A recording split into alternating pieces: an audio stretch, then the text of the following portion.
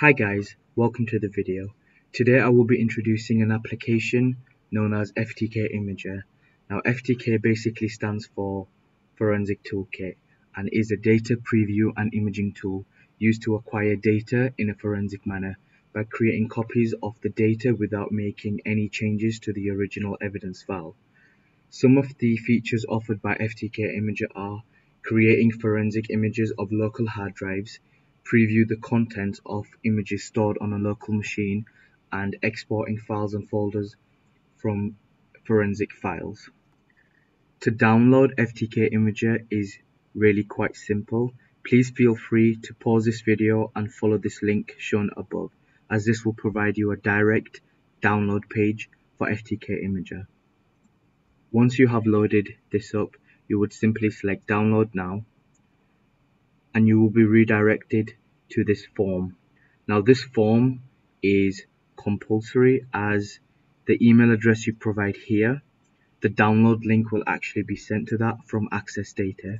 So please fill this form in with the correct information and you will receive the download link from FTK Imager. Once you receive this email from Access Data, simply download FTK Imager and follow the on-screen instructions and it will install to your computer and a shortcut will be added to your desktop. Once FTK Imager has been installed, this is the first window you will see within FTK Imager.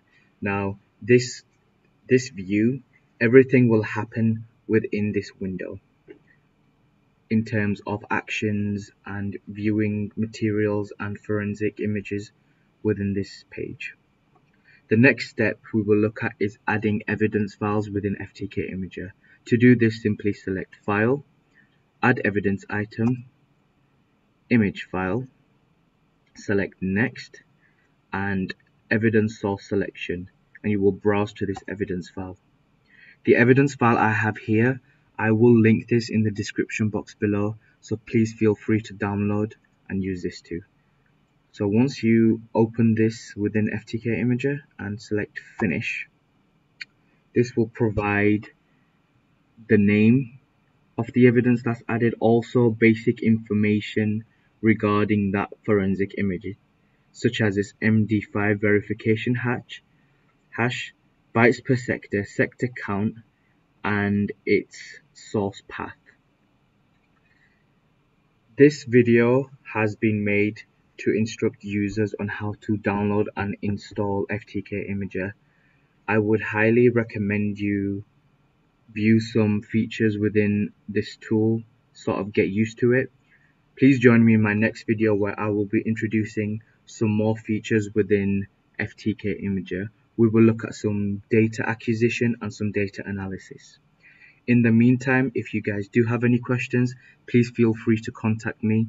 My details will be provided in the description box below. Thank you very much for listening and see you next time.